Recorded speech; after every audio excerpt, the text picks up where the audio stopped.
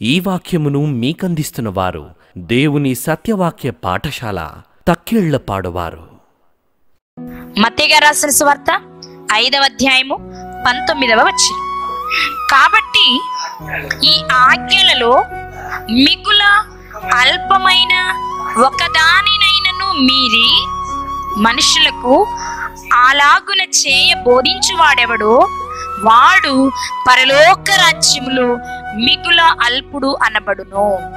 ఈ మాటను మీరు జాగ్రత్తగా ఆలోచిస్తే ప్రియులరా ఆజ్ఞలలో మిగుల అల్పమైన ఒక్కదానినైనను మీరేవాడు పరలోక రాజ్యంలో అల్పుడట. ఇప్పుడు మనం మత్తి పదకొండు అధ్యాయం పదకొండవ వచ్చిన ప్రకారం ఎవరు పరలోక రాజ్యంలో అల్పులు అంటే ఒక ఆజ్ఞనైనా మీరేవాడు అల్పుడు అన్నట్లు కనబడుతుంది. కానీ మనం యాకో పత్రికలో చదువుకున్న మాట ప్రకారం పది ఆజ్ఞలలో తొమ్మిది పాటించి ఒకటి మీరిన పాపే అంటుంది యాకో పత్రిక. కాబట్టి మనం ఇక్కడ ఏ విషయాన్ని జ్ఞాపకం చేసుకోవాలి మరి? పరలోక రాజ్యం అంటే ఎక్కడది? ఒక ఆజ్ఞ మీరిన పరలోకం వెళ్ళడానికి అవకాశం లేనప్పుడు పరలోక రాజ్యములో అల్పులు అన్నట్టు అంటున్నారు అంటే ఈ పరలోక రాజ్యం ఏదో మనం అర్థం చేసుకోవాలి. బాప్తీసమిచ్చే యోహాను వచ్చి పరలోక రాజ్యము సమీపించి ఉన్నది అని చెప్పారు. యోహాన్ గారు వచ్చి చెప్పిన విషయం ఏంటంటే పరలోక రాజ్యము సమీపంగా ఉంది సమీపం అనగా దగ్గరగా ఉంది అన్నారు. మామూలుగా ఆలోచిస్తే పైనున్న పరలోక రాజ్యమే ఇక్కడ రాయబడిన పరలోక రాజ్యం అనుకుంటే ఆ పరలోక రాజ్యం భూమి మీదకి వస్తుందా?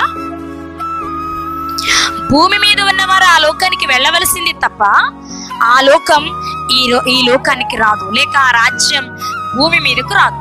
అంటే యోహాను గారు చెప్తున్న పరలోక రాజ్యం పరలోకపు తండ్రి ఉన్న పరలోక రాజ్యం కాదని భూమి మీద ఉన్న రాజ్యం అని మనం గ్రహించాలి.